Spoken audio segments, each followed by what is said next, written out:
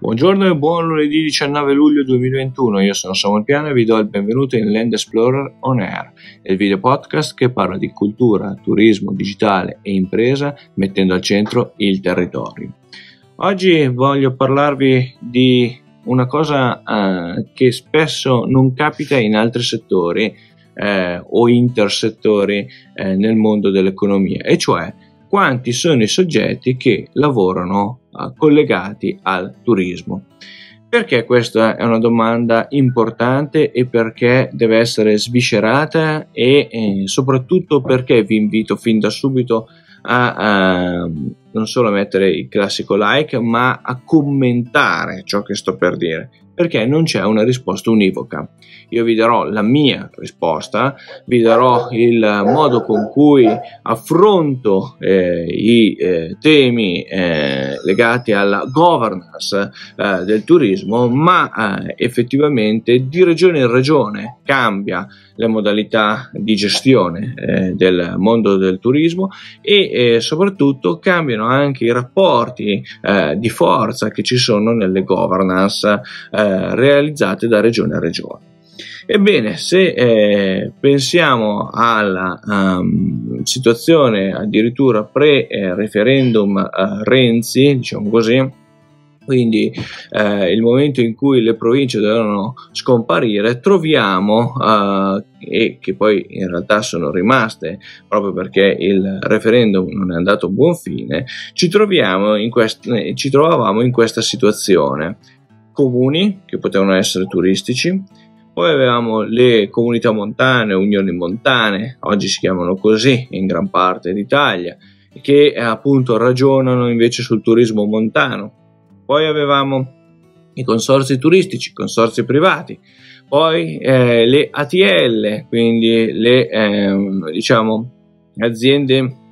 turistiche locali, che una volta erano addirittura anche APT, eh, ed erano aziende nate per la sola promozione. Poi avevamo eh, la, la, provincia con le sue deleghe eh, al turismo, poi avevamo la regione con le sue deleghe eh, appunto in quanto materia concorrente il turismo tra regione e Stato, la regione quindi poteva gestire eh, la promozione eh, delle proprie peculiarità a livello turistico per poi arrivare allo Stato. Lo Stato che ovviamente dopo la perdita del eh, Ministero del Turismo appunto avvenuto nel, con il referendum del 1993 eh, si è eh, disgregata la strategia turistica in mille rivoli, in particolare in 20 rivoli, quelli regionali, ma eh, dovremmo moltiplicarlo rispetto a tutti i soggetti che ho appena citato. Ovviamente il turismo a livello nazionale viene poi proposto all'esterno attraverso la, l'ENIT, quindi l'ente eh, nazionale del turismo eh, italiano, eh, che eh, ha una funzione specifica, quella di proporre appunto l'Italia nel suo insieme verso l'estero, ma internamente in Italia ormai le strategie per un turismo eh, strutturato ehm, secondo delle conoscenze e delle ehm, bellezze culturali, naturali, attrattive sportistiche, eccetera, sono legate appunto eh, al mondo mondo regionale. Questo è un bene o è un male? Beh, eh, molti studiosi definiscono questo un male perché? Perché non c'è una strategia eh, alla base eh, unitaria, se non qualche linea eh, di similitudine. Dall'altra parte, effettivamente, il problema più grosso eh, che si aveva prima era una struttura invece troppo rigida nella gestione delle strategie. E quindi che cosa è meglio? Non c'è una risposta corretta eh, se non la classica risposta dipende oppure la media res, cioè eh, la media via sarebbe stata la cosa migliore. Ad oggi si cerca un uh, ritorno addirittura del Ministero del Turismo, ricordo che appunto da quando è arrivato il, il, il, il primo uh, ministro, diciamo il premier Draghi, abbiamo il... Um, abbiamo appunto il, il ministro Garavaglia come ministro del turismo che è un ministro però senza portafoglio, questo dobbiamo tenerlo presente in quanto appunto il ehm, referendum abrogativo del 1993 non permette sostanzialmente la riedizione del Ministero del Turismo così come eh, lo si era pensato, quindi un ministero con portafoglio, quindi con l'opportunità di intervenire eh, sul eh, in, mani- in maniera economica sul settore o intersettore. A questo punto, eh, come una strategia nasce? E qui è il grande dilemma ed è quello che bisogna affrontare oggi in maniera strutturata per i prossimi anni ed è eh, una strategia che spesso è in mano a, a tecnici che ci devono essere, eh, sia ben chiaro, senza di loro non avremmo dati, non avremmo analisi, eh, io stesso faccio parte della schiera dei tecnici, per cui eh, si ha bisogno per comprendere questo turismo che è una sorta di camaleonte che cambia colore velocemente a seconda delle situazioni in cui si trova. Dall'altra parte però il rischio di avere dati, analisi eccetera pronti, letti, riletti, rianalizzati, rielaborati, resi disponibili anche per persone che non conoscono la materia turistica in maniera semplice e quindi accessibile ma senza una strategia, anche se vogliamo politica o comunque una strategia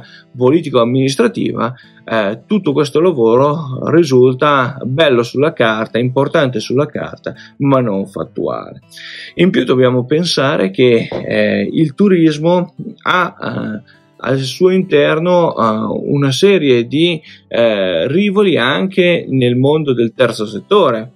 quante associazioni culturali richiamano il fatto di sviluppare una serie di attività a fini anche turistici. Se pensiamo al Proloco, eh, altro ente volontaristico eh, che gode tra l'altro di una serie eh, molto particolare eh, di eh, benefit proprio perché lavora eh, sullo sviluppo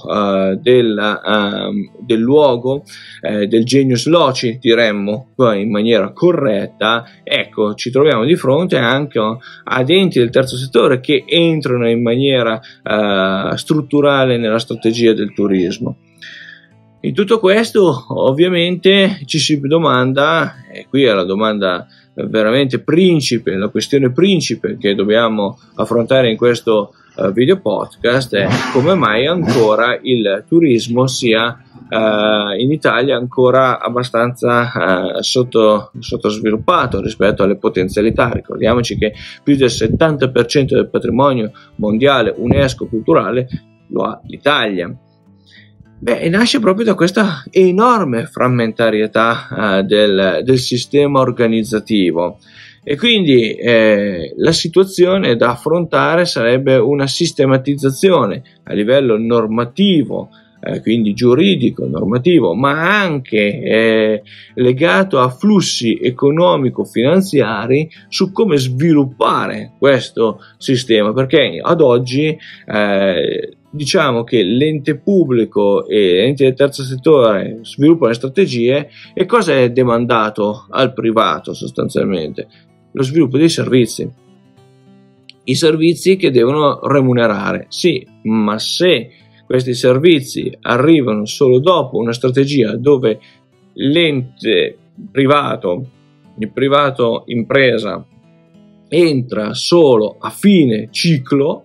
non ha possibilità di sviluppo, è un po' come eh, nel marketing che si pensa alle azioni di marketing solo quando il prodotto è, è già realizzato eh, ovviamente eh, cosa può fare il marketer di turno? Può fare una cosa sola, eh, mettersi a pensare delle strategie operative di vendita del prodotto con una serie di sconti, di cose viste e riviste, perché? Perché non c'è stato l'approccio giusto nello sviluppo del prodotto, del marketing del prodotto mentre si sviluppava eh, effettivamente le specifiche di quel prodotto. E così succede nel turismo. Troviamo sconti, promozioni. In questo periodo di Covid vediamo eh, il turismo in difficoltà e quindi ecco che aumentano eh, le promozioni eh, per cercare di riattirare il turista, ma non sta cambiando in realtà il prodotto di fondo. Uh, potremmo fare un esempio giusto per rendere ancora più semplice eh, e comprensibile a tutti la tematica, è come se noi presentassimo un uh, telefono di qualche anno fa rimbellettato ma con le specifiche di qualche anno fa. Uguale sta succedendo in questi anni nel turismo. Continuiamo a cambiare nomi, a cercare di renderlo più bello, più attraente, un prodotto che però ha già qualche anno e eh, questo nasce da un approccio sbagliato al, al territorio. Perché nasce un approccio sbagliato al territorio? Perché deriva da una lettura del territorio sotto forma di merce. Eh, passatemi il termine, il territorio diventa mercificato, è un prodotto a cui si connette una strategia di vendita. Facendo così il territorio si degrada nel lungo periodo e nel medio periodo incomincia ad avere i suoi problemi di capacità di carico perché alla fine non stiamo ragionando su, una, uh, su un prodotto di largo consumo ricostruibile continuativamente ma di un territorio che uh, può solo peggiorare quindi da una situazione iniziale uh, di benessere può solo peggiorare nel medio e lungo termine aggiungendoci flussi e quindi è necessario reinvestire, reimpostare eh, la strategia organizzativa. Per fare questo c'è bisogno di marketing territoriale, marketing territoriale, qui lo dico sempre a proposito di queste tematiche, il sottoscritto è sempre disponibile a ragionare eh, nella, in fase di consulenza per i territori, ma è importante che chiunque venga scelto per lo sviluppo della strategia rinizi dal territorio, rinizi mettendo al centro tutto ciò che il territorio può dare e come rendere fruibile a seconda degli stadi di avanzamento di questo territorio, per cui se eh, si ha un avanzamento forte nel, nel mondo produttivo eh, e allora si va a vedere tutte le attività artigianali, si va a vedere eh, le industrie come ragionano su quel territorio, lo utilizzano solo per i propri fini commerciali oppure hanno un'attenzione. Spesso nostri, l'Italia ha la fortuna di avere imprenditori del territorio e che sono uh, imprese del territorio che sono radicate fortemente in quel territorio. Il territorio per loro è stato uh, il volano su cui sviluppare la propria impresa ed è su quello che bisognerà sviluppare un senso di appartenenza forte che magari si è perso nel, negli anni proprio perché si è sviluppata eh, l'impresa magari anche su più mercati internazionali quindi è difficile eh, mantenere eh, ehm, l'identità dell'impresa collegata al proprio territorio oppure lo si dice ma non lo si richiama così fortemente nelle attività eh, benefiche diciamo così dell'impresa ecco che allora è necessario riattivare questa forma un'altra cosa importantissima è quella di valutare enti del terzo settore che cosa hanno fatto come in quali fasi di avanzamento sono state realizzate eh, alcune opere ad esempio la risistemazione dei sentieri, la rete sentieristica, eh, la rete culturale. A proposito sulla rete culturale, eh, se ragioniamo come si è sempre un, fatto negli ultimi anni dove la cultura è investimento per il turismo, è necessario comprendere se quella è la reale lettura di un territorio in maniera omnicomprensiva. Non basta avere effettivamente un museo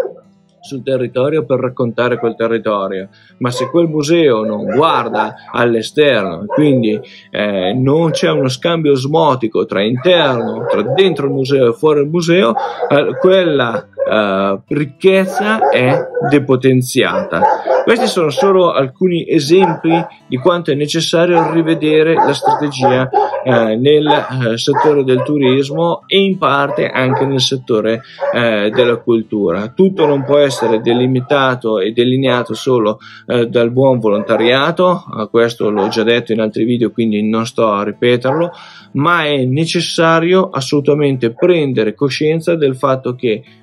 ah, ci sono troppi enti che parlano di turismo e eh, bisogna capire se realmente hanno qualcosa da dire. Troppi, li abbiamo elencati all'inizio di questo video, sono gli enti che parlano di turismo e non è detto che tutti abbiano il potere e eh, così, il diritto dovere di parlare di turismo in maniera strutturale. Due, c'è bisogno di comprendere come questi enti che per tutta una serie di motivi hanno avuto o hanno l'opportunità ancora di parlare di turismo, debbano riorientarsi a una strategia real, realmente aperta a 360 gradi.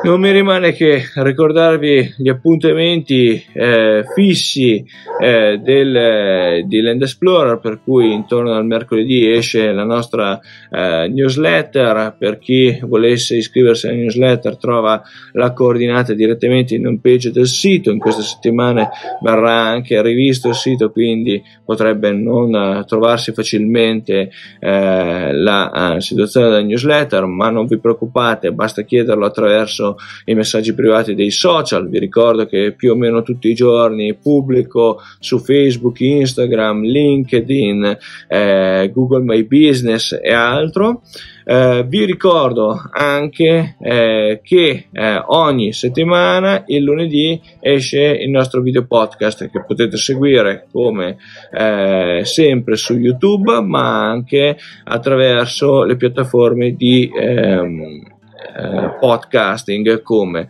eh, Spotify e Apple Podcast. Per i più puristi, Spreaker. A lunedì prossimo.